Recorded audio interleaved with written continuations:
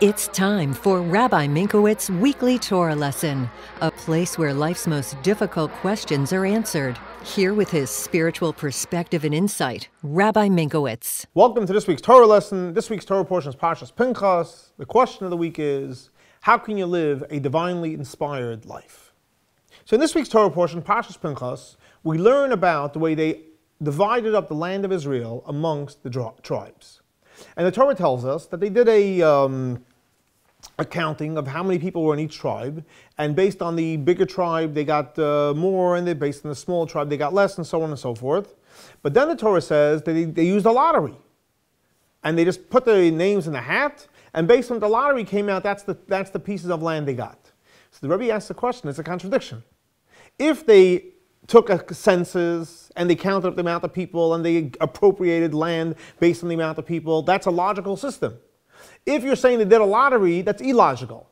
Now, that's two good systems, but the question is you either pick a logical system or an illogical system. You can't really have both.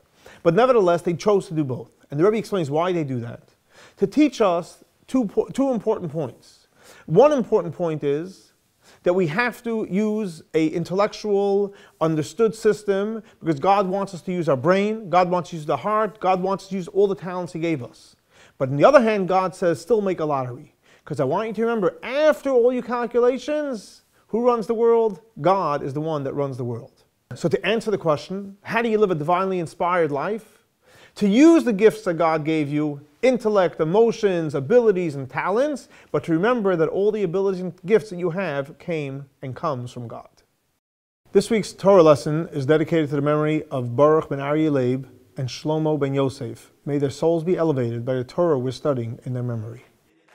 I'd like to wish a special mazel tov to our daughter Zeldi on her marriage to Nachmi Rosenberg. Thanks so much for joining us for our weekly Torah lesson. For additional classes at Chabad or any other information, please see our website.